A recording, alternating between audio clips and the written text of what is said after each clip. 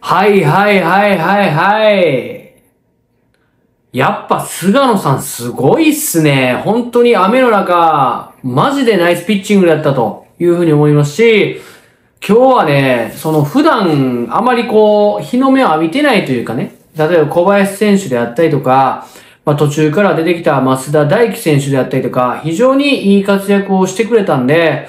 あのー、すごくいい勝利だったんじゃないかなというふうに思います。てな感じで始まりました、小山翔平ベースボールチャンネルです。今日も最後まで見れてください。よろしくお願いします。はい、今日はですね、先ほど終わりましたタイガース対ジャイアンツの試合解説の方をやっていきたいなというふうに思ってます。はい、今日の試合はですね、まあ、コールコールドというところで、まあ、7回を終了して、まあ、あのーコールドゲームというところで、ジャイアンツが、まあ、勝利を、あの、したんですけども、まあ、非常に、まあ、菅野さんもそうですし、相手の西祐希投手もですね、すごくテンポのいいピッチングを見せてくれまして、まあ、その中でも、えー、まあ、先制点をジャイアンツは取られてしまったんですけども、その後のね、まあ攻撃、相手のミスもまあ少しありましたけども、そういったところにつけ込んでですね、えー、まあ逆転、うん、できたっていうところは非常に良かったんじゃないかなというふうに思っております。はい、じゃあですね、今日の動画の、え構成としてはですね、まず得点シーン振り返っていきまして、その後に、えー、スタメンの変更点を見ていきまして、で、最後に僕が気になったところを、配球チャートであったりとかね、えー、なんかできるだけ面白くね、えー、皆さんに分かりやすいように伝えていきたいと思います。この3本でやらさせてください。はい、じゃあですね、えー、まず得点シーンを振り返っていきたいと思います。僕の胸あたりにですね、えー、画像を出しながら、えー、見ていきたいなというふうに思ってます。はい、えー、今日はですね、結果から言いますと、3対1、3対1でジャイアンツが勝利をしたというゲームになっております。よいしょ、よいしょ、ナイスゲームというところで、あのー、まあ、雨がね、えー、まあ、パラパラ初めから降ってたりとか、まあ、いろいろね、えー、あんまり条件が良くなかったですけども、まあ、その中でも、随所にね、いいプレーもありましたし、えー、まあ、相手のミスっていうところにも、しっかり付け込んでいけたというふうに思います。はい、えー、振り返っていきますと、まず1回裏ですね、ワンアウト1、2塁から大山選手にライト前ヒット。はい、これもまあ、ちょっと先っぽというかね、バットの先だったんですけど、まあ、うまく落とされたっていうところでしたね。はい。で、4回表、えー、ワンアウト2塁から大城選手のレフト前ヒット、タイムリーね。まあ、これも、まあ、ちょっと、あなんかあれなんですけど、まあ、その梅野選手の構えというか、本当に、えー、どこに投げたかったのか、ちょっと曖昧だった感じがあったんで、うん、なんかちょっとこう、悔いの残る一球になるんじゃないかなって思いました。阪神バッテリーからするとね。はい。で、7回表ですね、ノーアウト1、3塁から門脇選手のセンター前ヒット。で、ノーアウト1、3塁で、まあ、小林選手のね、えースクイズありまして、まあ、2点取って、えー、まあ、逆転をして、えーそのままね、えー7回裏を締めて、まあ、コールコールドになってしまったというところでございますと。はい。じゃあですね、えーここからですね、えーと、えースタメンの変更点見ていきたいと思います。僕の顔あたりにですね、えー画像を出しながらあ見ていきたいなというふうに思っております。はい、えー、じゃあ、はじめ、ホーム側のタイガースから見ていきたいなというふうに思ってます。はい、えー、変更点はね、なくてですね、実は。はい、昨日からの変更点はなくて、ピッチャーが佐伯投手から、まあ、西勇輝投手に変わってるというだけでございますと。はい、まあ、西勇輝投手ね、えーすごくいいピッチャーで、まあ、左右の揺さぶりね、特にスライダー、あーシュート、っていうところをうまく使ってますと。で、カーブなんかもね、カウント球に使ってきたりとかして、まあ、主に横の揺さぶりというところで、すごく、バッターが打ちにくい、えーピッチャーだと思いますと。で、実際ジャイアンツもなかなか打ててないというところがあるので、まあ、この西行投手をね、どうやって打ち、打ち崩すかというところ。で、何回もやられてもね、えー、悔しいだけなので、えー、そこでね、えーまあ、昨日負けてますからね、2連敗は絶対できないというところで、えー、今日見ておりました。はい。で、えー対するジャイアンツですけども、ジャイアンツ結構変更点ありましたと。はい。昨日からで言うとですね、岡本選手昨日ファーストだったんですけども、今日はサードに入っておりまして、えー、ファーストには大城さんが入っておりますと。で、えー昨日キャッチャーだった大城さんが、まあ、ファーストですよね。で、えー昨日、おー伊豆口選手がショートで7番で出てたんですけども、今日は、あー門脇選手が7番ショートで出場しておりますと。で、えー門脇選手が昨日サードだったんですけども、まあ、岡本選手ですよね、サードが。はい。で、えーピッチャー東郷投手だったんですけども、今日は菅野投手というところで、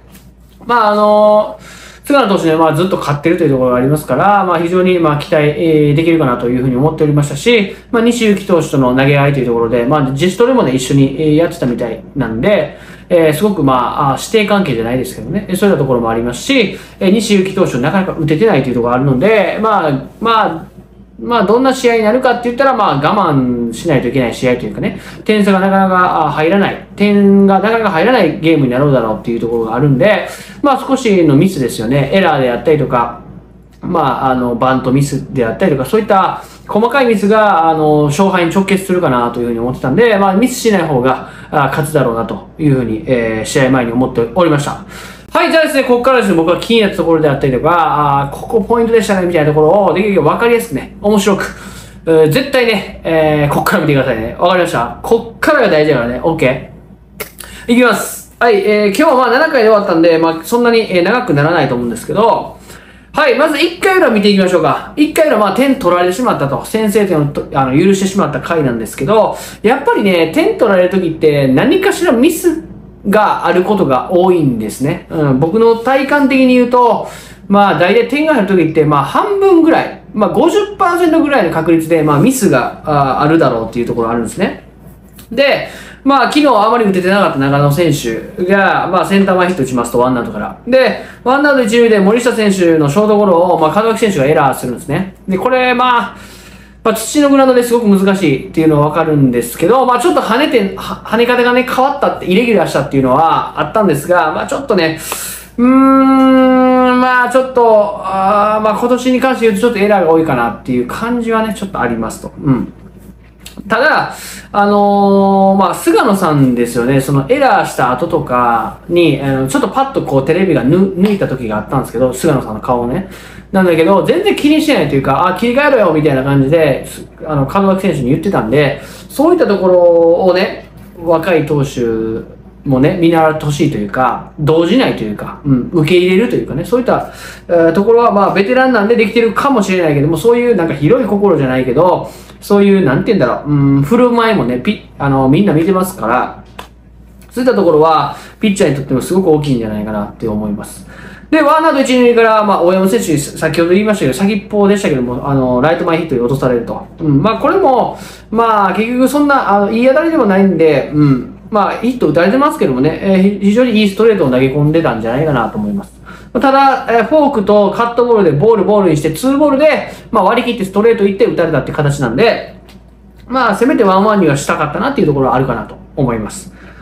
はい。で、佐藤選手、ワンアウト1、2塁で見逃し三振。まあ、今日は全然合ってなかったなっていう感じはしますと。菅野さんのね、コントロールもそうでしたし、えーまあ、緩急なんかにもね、全然タイミング合ってない。まあ、クイックの時もそうでしたけども、全然タイミング合ってないなって佐藤選手がね、思ってたんで、うん。で、ツアウト1、2塁で前川選手センターフライというところで、まあ、1点に、えー最小失点で抑えれたっていうのは非常に良かったと思います。はい。で、次、えー4回表見ていきます。これはジャイアンツが点を取った回なんですけど、で、ワンアウトから、まあ、岡本選手がね、これ、ライトへツーベース打つんですけど、まあ、これもね、非常にうまく打ったと。うん、シュートでストライク来て、シュートでインサイド来て、で、2球目カーブ来たんですよ。で、アウトコースの、まあ、ボール球ではないですけど、まあ、結構、結構ギリギリかなというところのボールを、しっかりね、踏み込んで、まあ、ライトに打ったと。で、フェンス直撃かななんか、それぐらい飛んでたんで、改めてすごいパワーやなと思いました。で、ワンアウト二塁で、まあ、大城さんのこれレフト前ヒットなんですけど、まあ、先ほど言いましたように、ちょっとこう、梅野選手の構えというかね、これ追い込んでからなんですよ。追い込んでからの、最後ストレートを打ったんですけど、まあ、どこを要求してたのかちょっと曖昧すぎるというか、あのー、2-2からのストレートなんですけど、なんか、こう、初め構えてなくて、ピッチャーが投げようとした時にこうパッて構えたんですよ。うん。だから、なんかあんまりこう、ちゃんと構えれてなかったというか、ピッチャーもどこに投げたらいいのかっていうのがちょっと曖昧だったんじゃないかなっていう感じはします。もしかしたらなんか二塁のランナーがね、岡本選手がなんかサイン送ってる、サイン送る可能性があるからちょっとファってこう、ギリギリまでこう、構えずにやったのかわからないですけども、ちょっとこれはね、阪神バッテリーからするとクリーンの残る一球になったんちゃうかなと思います。はい。でですね、次4回裏見ていきましょうか。この点の取った後、ジャイアンツが点取った後に、まあ、あの、阪神の攻撃で、いきなり先頭バッターをね、出塁させてしまうんですね。これ先ほど、あの、タイムに言った大山選手にライト前ヒット打たれると。先ほど先っぽで、えー、ヒット打たれまして、今回はツーシーム行って、詰まらしたんですけど、またライト前に打たれたっていうところで、こういうバッティングがね、大山選手できたら、すごく打率が上がっていくんじゃないかなと思います。で、えー、今日全然合ってませんでしたよっていうふうな言いまこと言いましたけども、ノアウト10で佐藤選手が空振り三振。で、ワンアウト10で前川選手をファーストゴロに打ち取ったんですけど、これをまあ、ショートの門脇選手がまあ一塁になんかあの悪送球したっていうところなんですけど、これは正直、あんまり門脇選手の送球は僕は悪くなかったんじゃないかなと思ってて、まあエラーっていう表記になりましたけども、もしかしたらファーストの大城さんが、ちょっとね、あのー、出てましたけども、取って投げて、ファーストゴール取って投げて、そのまま戻ってきたら多分取れたボールなんですね。だけど、それを戻らずに、まあ別に大城さんが悪いわけじゃないけど、戻らずに、えー、ピッチャーカバーが来て、で、それでショート、えー、ショートの門脇選手がちょっと送球したのが、ちょっと左に反れたんですね。で、それタイミングが合わずに、えー、カメラマン席に入って、えー、まあ、ランナーが二塁まで進んだんですけど、これは、僕ちょっとこれエラーって言って、言うのをちょっとかわいそうかなっていうふうに思ったし、まあ、できればね、これ、まあ、ファーストの人、ぜひ聞いておいてほしいんですけど、あの、戻れるんであればね、絶対ファーストに戻った方がいいんですね。なぜかっていうと、ピッチャーなんてこう、動いて、えー、動きながらこう、ベースを探したりして、で、なおさら、あさらにね、あの、ショートからのボールを取らないといけないっていうところで、すごく難しいプレイになるんですね。だから、できるだけファーストの人が、えー、戻ってあげた方が絶対確実なんで、そういったところで、まあ、大城さん、ね、あまりまだ慣れてないんで、まあ仕方ないかなと思いますけども、これ、大城さんが戻ってたら多分ゲッツーも取れたんちゃうかなっていうふうに思いました。で、ツーアウト二塁という場面に迎えるんですけど、梅野選手をまあセンターフライで押し込んで、まっすぐで押し込んだのは非常に良かったなというふうに思います。はい。でですね、この回あ見ていきたいと思うんですけど、まあ、この5回裏ね、これね、非常にね、あの、印象的な場面があったんで、皆さんに紹介したいと思います。え、ツーアウトから、え、近本選手、中野選手にヒット許して、ツーアウト1、2塁というピンチを迎えるんですね。で、ここで得点圏打率1位の森下選手が打席に来ますと。で、結果、ライトフライだったんですけど、ちょっとこれね、えー、皆さんに見てほしいんで、これちょっと配球チャート見ていきたいと思います。はい。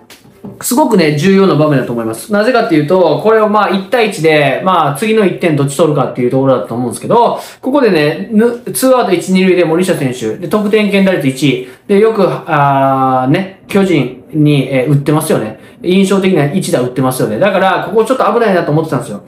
で、えー、配球チャート振り返ると、ツーシームでボール、ツーシームでボール、えー、スライダーでボールなんですね。ここで3ボールになっちゃうんですね。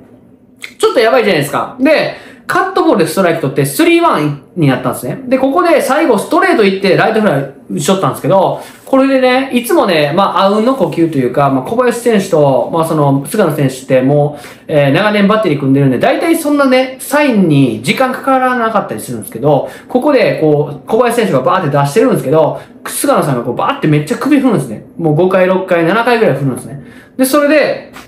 最後、ストレート行くんですね。で、それ力込めてたんで、152キロ出てるんですよ。で、152キロで、えー、押し込んで、それ最後ライトフライ打ち取ってるんですけど、これね、すごく、うーわざと首振ったわけじゃないと思うんですけど、まあ、森下選手もこんだけ首振られたら、何投げてくんやろうって多分ちょっと迷ったと思うんですね。で、そういった意味もあるし、その、えー、ストレート投げるんだったらもう本当に全力でいくっていうところで、投げ込んでね、ストレートで押し込んだと思うんで、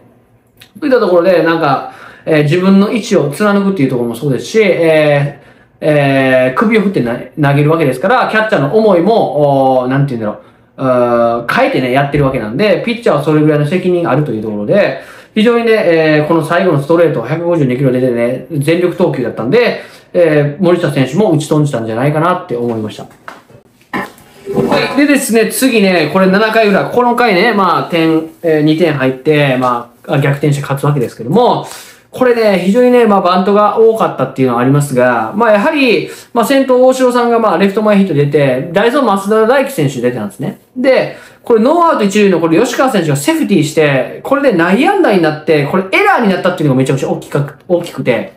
えー、まあバント自体もすごく上手くて、で、えー、佐藤輝明選手がちょっとね、こう、送球それたんかな？で、それで、えー、ランナーが三塁まで行ったんですね。で、これがめちゃくちゃでかかった。で、ノーアウト1、3塁になったのは。うん。で、このノーアウト1、3塁で門脇選手が、まあ、センター前ヒット打つんですけど、まあ、そのスクイズ、えー、セーフティースクイズ、失敗。セーフティースクイズ失敗。で、最後スクイズも失敗すると。あ、じゃあ、セーフティースクイズしてボール。うん。で、セーフ、セーフティースクイズ試みるもファール。で、スクイズ行ったんですけど、ファールになるんですね。だから、あの、バントのサイン、えー、まあ、2回出てて、2回とも失敗してるんですよ。で、2ストライク追い込まれたから、もうヒッティングでいいよ、みたいな感じになって、で、それで、まあ、前進守備もしてたんで、まあ、セカンドの横抜けてセンター前ヒットになったんですけど、まあ、これは結果オーライですね。これは普通に、えー、セーフティスクイズで1点取りたかったと思うんですけど、えー、ここで、えー、こういうのをしてると、ちょっとやっぱり信頼度もね、失っていくと思うんで、え、結果的にね、ヒット打ってるんで、まあ、いいっちゃいいんですけど、まあ、やはりね、サインはね、しっかりね、やった方が絶対いいので、そこは門脇選手もね、まあ、反省してるところかなと思います。で、ノーアウト1、3塁、またノーアウト1、3塁の場面で、今度小林選手が、まあ、その、セーフティースクイズを1球で決めるんですね、やっぱり。うん。で、僕がいた時からそうですけど、小林選手ってめっちゃババントうまいですね。うん。だから僕ほとんど失敗してること見たことないですね。うん。で、このセーフティースクイズも、外のスライダー系のボールだったんですけど、それをサード側にセーフティーして、で、それで佐藤選手がフォーム投げたんですけど、まあそのフィールダーチョイスという形でセーフになるというところで、やっぱり、まあ、門脇選手はまあ、小林選手をしっかり見習っていかないといけないと思うし、まあ、そのね、小林選手もそんなこう、めちゃくちゃバカバカ打つ選手じゃないし、どっちかっていうと、まあ、守備の選手というかね、打力がっていうふうに言われてきた選手なんですけども、こういう細かいところっていうのは、しっかりやっぱり決めてくれるわけなんで、やっぱりね、えー、努力もしてるし、えー、そういったところは絶対、えー、俺はミスしたあかんと思ってやってるわけなんで、はい、そこは門脇選手もね、おまあ、思ってるとは思うんですけど、そこはね、見習ってほしいなというふうに思います。で、えー、まあ、その、これね、ちょっとな、あんまり僕、阪神のの試合をね、ずっと見てるわけじゃないんで、ちょっとわからないですけど、まあ、丸選手の時に桐敷投手出てきて、まあ、えー、浅野選手の時に、まあ、石井投手を出してきて、あの、僕の認識では、桐敷投手であったりとか、石井投手って結構勝利の方程式というか、勝ちパターンで投げてくるピッチャーなのかなっていうふうに思ってるんですけど、ここで、ね、えまあ、出てきたっていうのは、どう、どういう意図なのかなっていうのが、ちょっとね、僕の中で疑問というか、あちょっとぜひね、阪神ファンの方がいらっしゃったら、その、こういう負けてる場面でも、桐敷投手であったりとか、石井投手って出てくるのかっていうのを、ちょっと教えてほしいんですけど、これちょっとね、まあまあまあ、わからなくもないんですけど、あの、負けてるんでね、タイガースからしたら負けてるんで3対1の場面で、こんな、桐敷、浅野、あ、いや、桐敷、あの、石井とかね、そういうピッチャーって出てくるのかなってちょっと思ったんで、ちょっとね、そこで、ぜひね、阪神ファンの方に教えていただきたいと思います。で、最後7回裏ね、これね、えー、まあめちゃくちゃでかいプレーだったんですけど、まあ先ほどね、ダイソーから入った増田選手が、増田大輝選手が、まあサードに入ってますと。で、まあワンアウトから島田選手にレフト前ヒット打たれて、ちょっとやばいなって感じはあったんですけど、最後ワンアウト一塁で近本選手を、まあ、5-4-3のダブルプレー取ったんですね。で、この時の、この時点でね、雨めっちゃ降ってて、グラウンド状況めちゃくちゃ悪いわけですよ。で、で、足の速い、えー、まあ、近本選手と、まあ、一塁ランナーも島田選手というところで、これね、正直、あのー、この打球でゲッツー取るってめちゃくちゃ難しいと思うんですね。だけど、えー、バウンドがちょっと跳ねたやつで、前出て、それでワンハンドで取って、ジャンピングスローして、で、二塁から一塁に転送してゲッツー取ったんですけど、これ、難なくやってますけど、これめちゃくちゃすごいプレーなんですね。うん。先ほど言先ほど言ったように、グランド状況も悪い、足も速いランナー、うん。で、途中からの出場、もう全部がマイナスというか、全部が難しい状況ではあるんですけど、もうそれをね、簡単にやってるように見せるというか、普通に前取ってババーンって勝負して、二塁に転送して、それも送球も良くて、うん。で、吉川選手もね、ファファーストにいい送球投げてっていうところで、もうなんか全てのプロフェッショナルが集まったみたいなプレーだったんで、こういうね、えー、普段ね、先発出場あんまりしない選手がね、えー、こうやって、えー、最後ね、締めてくれたりとか、そのめちゃくちゃ大事なプレーをしてくれるっていう、このジャイアンツのね、この控えの層の厚さっていうのは素晴らしいと思いますし、この松田選手にしろ、まあ、立岡さんにしろ、まあ、いろんな選手、まあ、ベンチにいますけども、そういう選手がいてね、チームっていうのは成り立つと思うので、ぜひね、これ、松田大輝選手のこのプレーっていうのは、ぜひね、えっ、ー、と、まあ、高校球児であったりとか、まあ、大学生もそうですけども、アマチュア野球の方ね、ぜひね、えー、ハンドリングであったりとか、この守備っていうところね、見習ってほしいなというふうに思います。はい、てな感じでね、今日はねえ、まあ、えー、こう、こうよというところで、まあ、7回まででしたけども、ジャイアンツがね、まあ、勝利をいたしました。はい、えっ、ー、と、まあ、絶対負けられない試合なんでね、うん。菅野さんも非常にいいピッチングしてくれたと思うし、まあ、小林選手もそうだし、まあ、この松田大輝選手もそうですけども、えー、やっぱりね、あのー、みんな力合わせてね、すごく苦しい時期だと思うので、えー、まあ、雨があったりとか、台風があったりとか、暑さもあったりとか、いろいろ、お厳しい環境ですけども、まあ、どこのチームもまあ、そういった環境はあるかなというふうに思うので、まあ、多少なりともね、えー、ジャイアンツはドームでやれるっていうのがあるんで、えー、まあ、多少ね、えー、有利ですけども、まあ、広島もね、非常に今日も勝ってるというところで、えー、お、あの、お尻をね、ずっとついていく。で、最後にこう、できればね、抜かしてリーグ優勝できる。そんな未来がね、えー、あるといいのかなというふうに思っております。はい、そんな感じでね、今日は終わってきます。いつもありがとうございます。これからどうぞよろしくお願いします。そんな感じで今日は終わってきます。じゃあね、バイバ